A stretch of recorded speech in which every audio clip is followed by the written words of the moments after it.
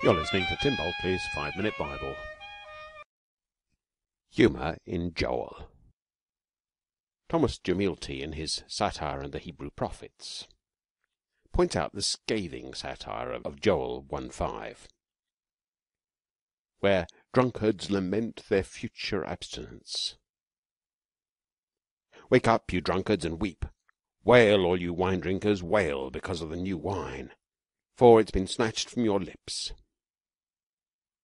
This is my own translation, the temporary English version, because likely the next time I revisit this verse it'll have changed.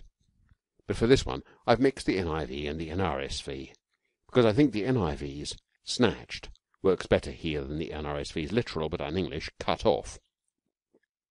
But on the other hand, the NRSV's wine drinkers works better than the NIV's literal, but in English, or at least stilted English, drinkers of wine. And translation is really interesting. Those examples are fairly trivial.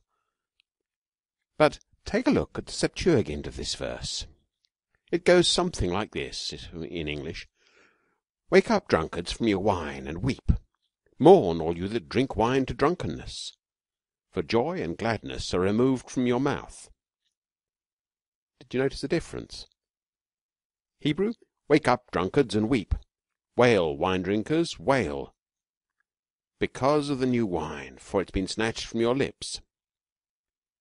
Greek, wake up, drunkards, from your wine, and weep and mourn, all you that drink wine to drunkenness, for joy and gladness are removed from your mouth. The specification of drink wine to drunkenness, where the Masoretic text just had drinkers of wine, makes this verse moral. In the Hebrew it had specified drunkards to start with, but the second time they were simply wine drinkers. Now, there's some justification for the Septuagint translation because in at least one place that the nifal of the verb does mean to be drunk. But most of the time, and I think always in the Qal, it just means to drink. The Septuagint also specifies that joy and gladness will be snatched away, not wine. And thus, at a stroke, as well as moralizing and making this a verse about being drunk, the translators have killed the joke. And that's what translators and interpreters often do to the Bible. They make it moral, but kill the joke. Bible readers want a safe moralistic text. But the more I've read and studied Scripture over the decades, the more I've become aware that the writers were more often sharp tongued troublemakers with a biting sense of humour than they were safe moralizers like the Septuagint translators. The Italians have a saying, traduttore traditore, or in French, Traduire, c'est trahir. To translate is to betray.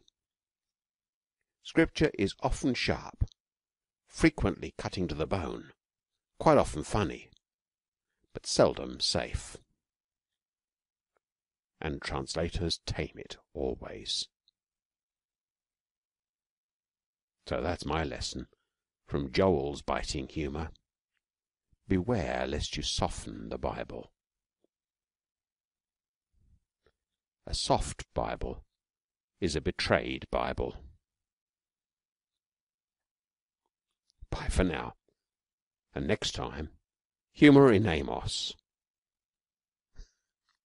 My favourite book, almost.